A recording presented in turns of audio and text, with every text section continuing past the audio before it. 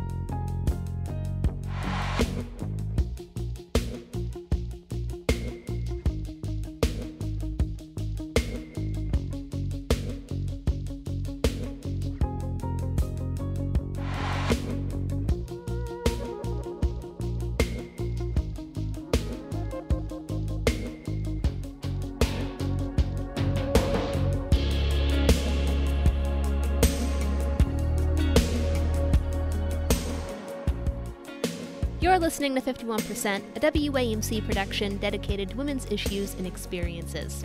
Thanks for tuning in. I'm Jesse King. Today we're discussing a topic that I'm guessing many of us avoid thinking about in our day to day lives. Basically, what happens when we die? And I'm not talking in the literal or philosophical sense, but what happens to our loved ones, to the things we leave behind once we're gone? During our lifetimes, even, what happens when we become incapable of making our own decisions? Estate attorney Megan Harris Pero is an expert on that, and she's been helping women with end of life planning for more than a decade.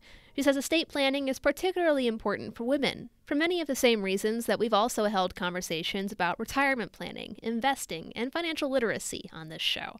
First and foremost, women on average live longer than men. It's also important to recognize that estate planning covers a lot more than just who gets your stuff. There are things you should be keeping in mind even if you're young, broke, and in good health. So, we're going to go over all of this today.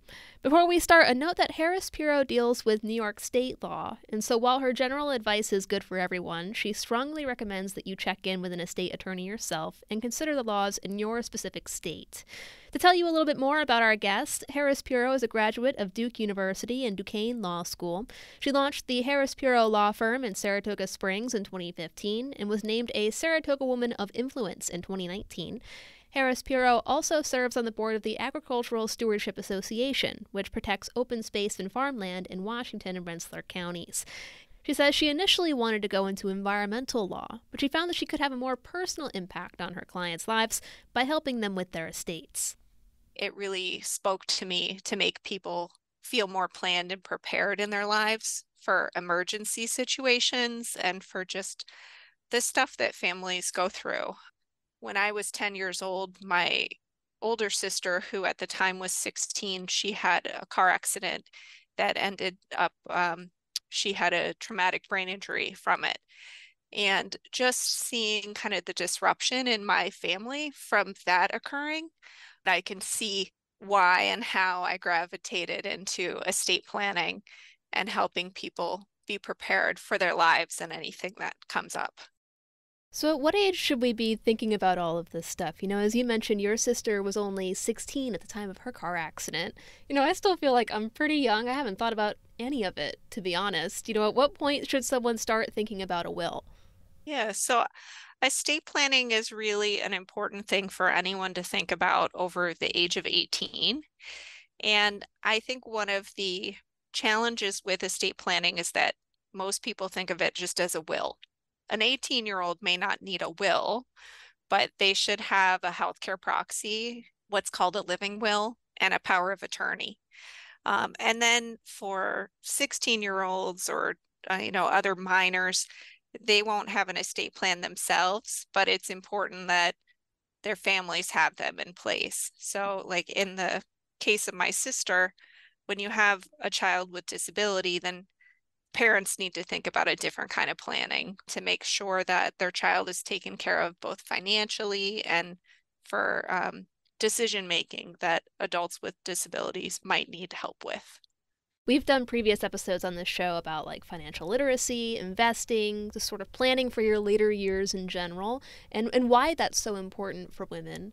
Women are, of course, statistically more likely to outlive their partners if they're married to a man. So, you know, just tell me a little more about the benefits of having an estate plan, especially for women.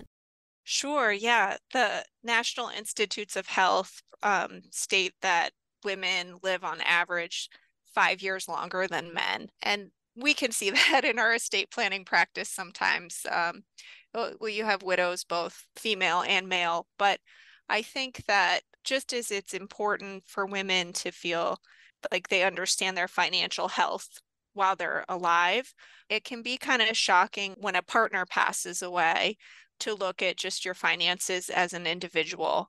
And I think that's something that estate planning can help women prepare for is what is the financial picture going to look like when a partner passes away especially if you've been kind of reliant on that partner or the partner's pension or something like that Okay, so you've touched on some of the different parts of an estate plan, but let's go a little bit more in depth. You know, you've got your will, your living will, healthcare proxy, and I think that last one was power of attorney. What goes into each of those? A healthcare proxy allows you to name healthcare agents to make healthcare decisions for you in the event that you can't. So, if you were in the hospital in a coma, for example, and can't articulate what your wishes are for something, your healthcare agents are going to make that decision. And it's really important for for anyone over 18 to have that healthcare proxy because it empowers you to decide who those agents should be and in what order. So in, in New York State, those agents are in an order. So if they had to make the most serious decision about your life, which is whether to take you off machines or not in the event that you're in a terminal condition, it seems to me at least, you know, important that you be able to dictate who is the right person to make that decision. And it's mm-hmm. a kind of a priority ranking. You know, agents can speak with one another and families, of course, they can talk with each other, but being able to decide that ranking of who your people are for your healthcare decisions is very really empowering. Um, and then the living will is your instructions for the end of your life. It's those instructions that you leave for your healthcare agents if they do end up in the circumstance where they have to make that decision of taking you off machines or not. Last will and testament that people call about and say, I need a will, that's about who gets your stuff. But the living will is instructions for the end of your life. And power of attorney? Uh, for a power of attorney, you are naming agents to help you with non medical items during your lifetime. It's only good during your lifetime and you want to give your agent broad powers because having a power of attorney can help avoid the need for a guardian being appointed for you during during your lifetime if you um, suffer from a coma or incapacity or something like that so really hot in the news is britney spears conservatorship and the end of all of that in new york we don't have conservators we have guardians and you can have a guardian over you as an adult. So anyone over 18 should have a power of attorney. What's the difference between a conservator and a guardian? It's just a name thing. In New York, the term is guardian. In other states, it might be conservator. And so, if someone wants to set all of this up, where do they start? Is this something someone can only make official through an attorney like you, or can people do it on their own? an estate planning attorney will have you fill out a questionnaire as your initial step for estate planning. It's very important for the estate planning attorney to know about your goals um, and to know about your family um, and your assets. Family is important to know the dynamics. Is this a second marriage? Are you not married but treating a partner or wanting to treat a partner as if you are married. Do you have children? Are they separate children? All those things can impact the plan that that is put together for you. And then for assets, the estate planning attorney might want to consider um, whether you have enough to take care of your own long-term care needs or whether you might need Medicaid in the future and how to set you up for success in applying for Medicaid in the future. And then for um, wealthy families, which I would say is over $6 million that the, the couple might have together, an estate planning attorney would also talk to you about potential estate tax. I guess we haven't touched on trusts yet. Uh, tell me a little bit more about like what a trust is and why might someone choose to establish a trust rather than give away their assets directly in a will. So most people when they when they call about estate planning, they ask for a will, and that's the most most common vehicle that we think about for our assets and where they should go. Um, wills when they're written, they're really just instructions for what you want to have happen when you pass away, but they don't have an effect until they go through the court. And that's why it's your last will that's the important one, your last will and testament. So, your last will and testament, when you pass away, it gets filed with the court, and that proceeding is called probate. Some people want to avoid probate because um, there are filing fees with the court. Depending on where you live, it could take a long time to get through surrogate's court, which is the court that processes wills for probate. And so that can be one reason why people might want a trust instead of a will, just to avoid probate. Some people also want privacy and don't want um, others to be able to go down to the courthouse and look at their will and uh, kind of get that picture into their lives about what they own. So that can be another reason. Um, so cost savings, privacy, and also if you have a complicated family situation, if you go through probate, your immediate family has to get notified. So if you have a child, for example, that you are estranged from and you're not in communication with anymore, um, they will have to receive a notice about your will going through probate, even if they're not receiving anything. So, for those um, individuals who have close family members that are not in contact with, or who don't know any of their close family members, using a trust can be a really great thing. And what are the different kinds of trusts out there? Because I've seen a lot of different names when I've Googled them on the internet. You know, how do you know which one is right for you? Trusts come in two main types revocable and irrevocable. And a revocable trust, I like to call it's like an alter ego. It's like you with a cape. Like you are creating a contract when you have a revocable trust about how you want your assets to be treated during your life and after you pass away. And that revocable trust, you can put things in and out of it. You can pay your bills from it. You can have, you want to have some accounts in the name of the revocable trust, holding assets in it. And its superpower is that it helps you avoid probate. So that's what a revocable trust can do for you. If you have estate tax planning issues, a lot of times for couples will set up two revocable trusts and use that as part of their plan too. But it doesn't have to be only for estate tax issues. Again, you might want privacy for your family. You might want an easier settlement, meaning people getting their money easier and quicker. Also, if you own a business, a revocable trust in conjunction with your your business documents can kind of help keep your business rolling um, quicker and easier than if you were relying on a will.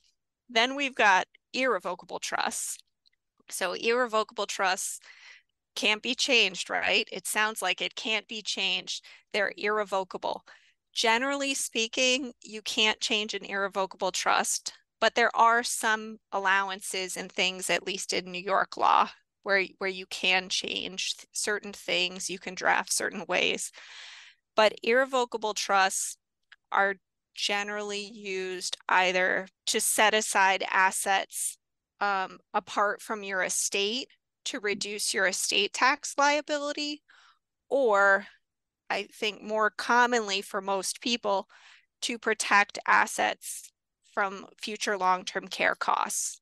Estate planning attorneys use all different words for these trusts. So you'll if you look online about trusts, you will see things about SLATs, they're called spousal lifetime asset trusts. You'll see Medicaid asset protection trusts, special needs trusts, um, which can help a disabled individual continue to get government benefits, but you can still leave them money or give them money for other things.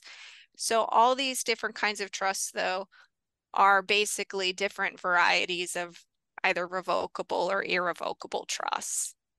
Of course, you practice law in New York, so we should probably have a little bit of a disclaimer here that we're talking about New York's laws, and you know things might be different from state to state. Um, but what happens here in New York if you don't do any of this? If you don't have an estate plan and you pass away without one?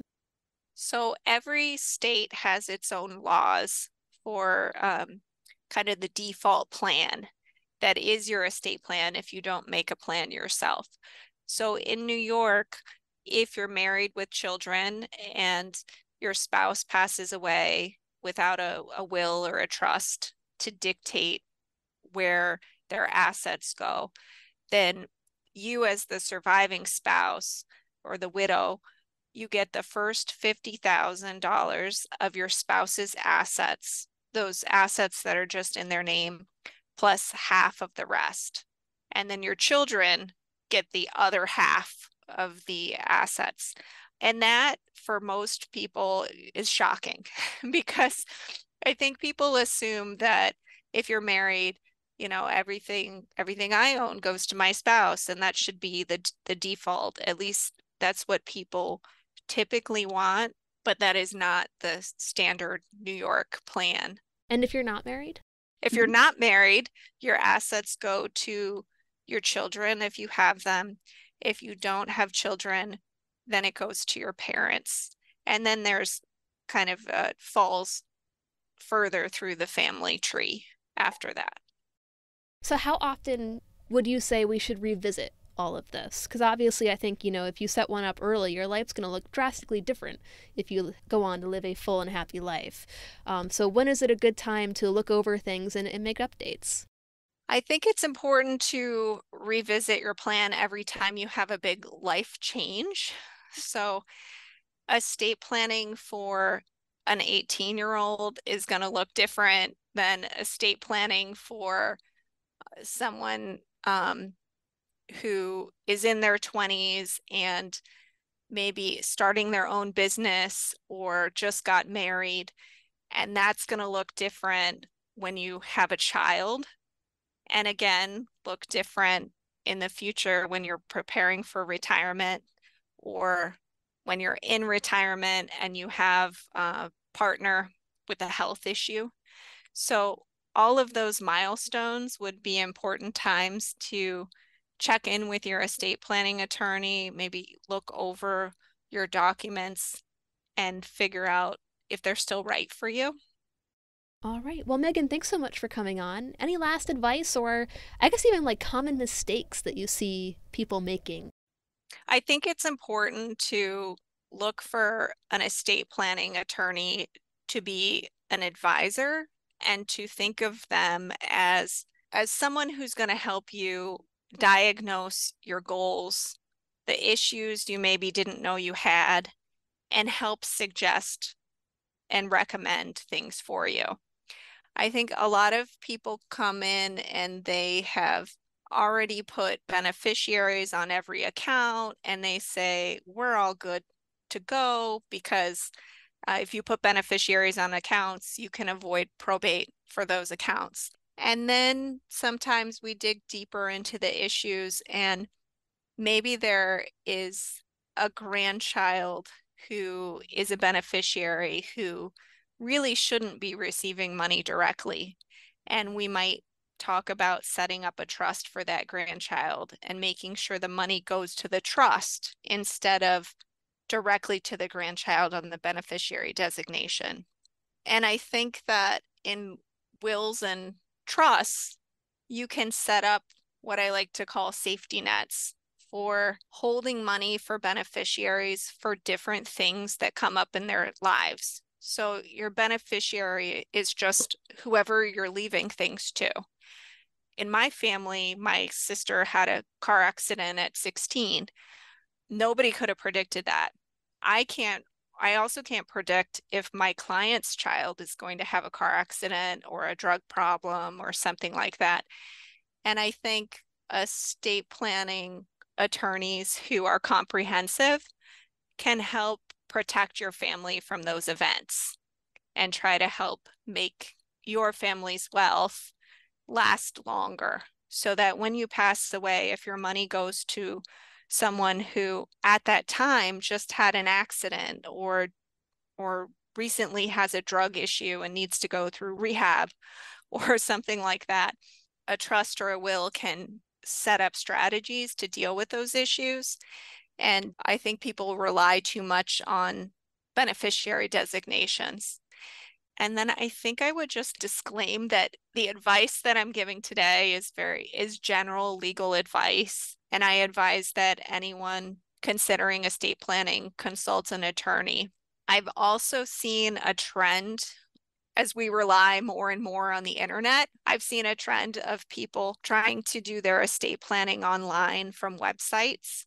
I think that everyone should consider that the plan is not just some pieces of paper describing where things go, but it should be a document that is useful to the people that you're leaving things to and is useful to whoever is carrying out your wishes.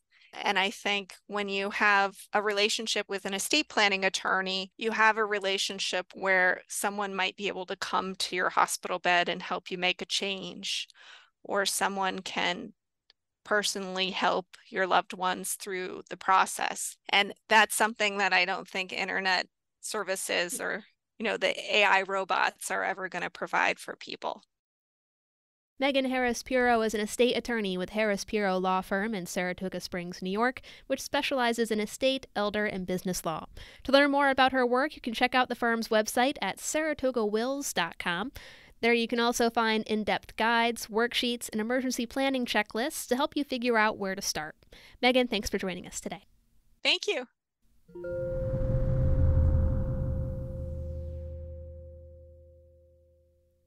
One quick story before we go. For years, Vassar College in Poughkeepsie, New York, has been collecting the personal papers and correspondence of the renowned 20th century poet Elizabeth Bishop. Bishop died in 1979, but her work still fascinates readers and researchers today. Ronald Patkus, historian and head of special collections at Vassar, says Elizabeth Bishop's papers has become one of the college's most valuable and popular collections to date, and they're still finding new ways to look at it. A new exhibit at the college's Thompson Library, for example, showcases tables and tables of Bishop's postcards, from your standard scenic photographs to kitschy tokens and handmade collages.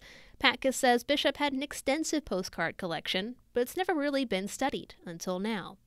The postcards for many years were ignored, probably precisely because they were postcards. But now, scholar, you know, scholars are taking newer interest in material culture and as it turns out, in our collection, we have over 500 examples of postcards. We think there are probably more out there in the world today, but that's, that's a great part of our archive that hasn't really been explored. Patkus credits guest curators Dr. Jonathan Ellis from the University of Sheffield and Susan Rosenbaum from the University of Georgia for the idea. Together, the three poured over Vassar's collection and singled out 55 jewels spanning from her early life to her final years. Patkus says they're pretty fragile and they couldn't have guests handling and flipping over the cards themselves, so they had to get creative. We usually will put the uh, front of the picture with the original, but we had uh, facsimiles made of the back. but they came out really well, I think. Bishop studied English at Vassar and graduated in 1934, hence the college's determination to collect her work. Born in 1911, Patkus says she had a turbulent childhood. Her father died less than a year after her birth, and Bishop's mother was institutionalized in 1916. However, Bishop went on to make a wide circle of friends, including some of her classmates at Vassar, like Frani Blough Muser. Patkus says Muser was a frequent recipient of Bishop's postcards, as were other famous artists and poets at the time, like Loren MacIver and James Merrill. Postcard as a format was very popular sort of in the early and middle 20th century. Late late century too, but but especially middle. And there were like literally millions of them that were sent around the world. But especially looking at Bishop, we can see therefore how she used the postcard in her life. Um, and that's some of the, the things that the, uh, that the curators tried to bring out. Bishop's inheritance from her father gave her the ability to travel extensively over the course of her life. On display at the Vassar exhibit are postcards from Rome, Paris, Key West, Boston, and particularly Brazil, where Bishop lived for 15 years after developing a relationship with the architect Lota de Macedo Soares. Patkus says there's a few cards that were clearly her favorites. He says Bishop had multiple copies of a bright red, cartoonish postcard reading, You don't know beans until you've been to Boston, in big letters across the front. He suspects the cards were both an outlet for Bishop's sense of humor and her creativity. One section of the exhibit, called X Marks the Spot, showcases how Bishop would draw on or notate her postcards to demonstrate her own ties to a site. For example, on the back of an unsent postcard from Great Village in Nova Scotia, where Bishop spent her early childhood, she notes, quote, I drove the cow to pasture up this road, end quote. Another card delivered to her doctor, Anny Baumann, features a painting of the Library of Congress, with a small X in the upper left hand corner, marking the office where Bishop served as a consultant in poetry in 1949. Patkus says Bishop even dabbled in making her own cards from scratch. In one postcard, Bishop and a friend stick their heads through a cardboard cutout, posing as boxers. This is Bishop on the right.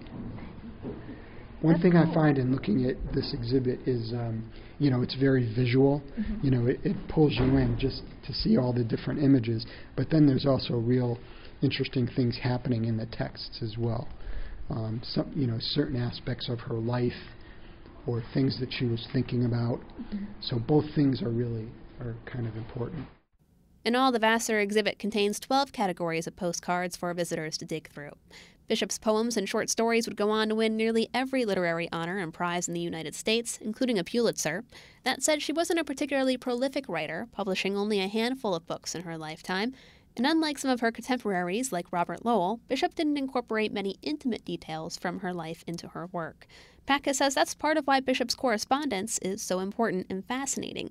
It gives scholars a glimpse into her personal life. He hopes the exhibit will bring additional cards and letters out of the woodwork because the demand for Bishop's papers is on the rise. There's been just a, a real interest in her work, and it has not, uh, you know, it's grown, and it seems, you know, almost every year there's, you know, books, articles uh, coming out, conferences have been held, entire conferences devoting to devoted to Elizabeth Bishop. There's just a number of scholars who are very interested in, in you know, in her oeuvre. Elizabeth Bishop's postcards will remain on view at the Thompson Library through the fall semester. By way of disclosure, Vassar College is home to WAMC's Hudson Valley Bureau. You've been listening to 51%. 51% is a national production of WAMC Northeast Public Radio in Albany, New York. It's produced and hosted by me, Jesse King. Our associate producer is Jody Cowan, and our theme is Lolita by the Albany based artist Girl Blue. Just a reminder that you can listen to 51% anytime at WAMCpodcast.org or wherever you get your podcasts. And you can stay in the loop on all of WAMC's shows by signing up for our weekly newsletter, Airwaves, at WAMC.org. We hope you'll join us next week. Until then, I'm Jesse King, 51%.